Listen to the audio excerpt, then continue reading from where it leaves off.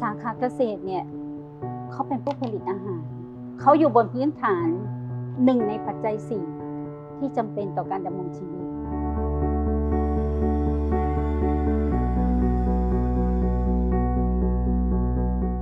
ผู้ช่วยศาสตราจารย์ ดรเบญจวรรณชุติชูเดชสังกัดภาควิชาเทคโนโลยีการเกษตร คณะเทคโนโลยีค่ะ ปัจจุบันหน้าที่หลักก็คือเป็นอาจารย์ผู้สอน ทั้งวิชาทางด้าน GE ศึกษาทั่วไปในบางรายวิชา แล้วก็วิชาพื้นฐานเอกวิชาเอกบังคับ วิชาเอกเลือกของภาควิชาเทคโนโลยีการเกษตรค่ะ ดิฉันถือเป็นเกียรติและเป็นความภาคภูมิใจ ที่ได้มาใช้ชีวิตการทำงานที่มมสแห่งนี้นานกว่า 30 ปี ความสุขของคนที่เป็นครูอย่างหนึ่งก็คือ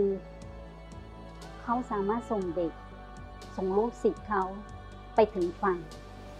ซึ่งสมัยก่อนเขาก็เปรียบเทียบว่าครูเป็นเรือจ้าง ถ้าลูกศิษย์เขาสำเร็จการศึกษา นั่นหมายถึงเขาส่งถึงฝั่ง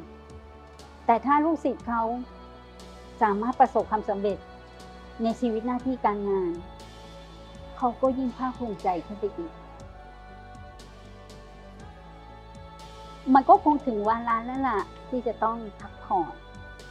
พักผ่อนในที่นี้หมายถึงก็ต้องไปอยู่กับครอบครัว ให้เวลาให้ความสำคัญกับคนในครอบครัวมากขึ้น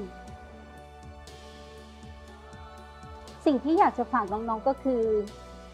อยากให้น้องๆดำรงชีวิต หรือว่าทำงานแบบมีแบบแผน อย่าปล่อยให้ชีวิตผ่านไป แต่ละวันแบบไม่มีเป้าหมายให้วางเป้าหมายของตัวเอง แล้วก็เดินไปตามเป้าหมายที่ตัวเองวางไว้ แล้วน้องก็จะประสบความสำเร็จ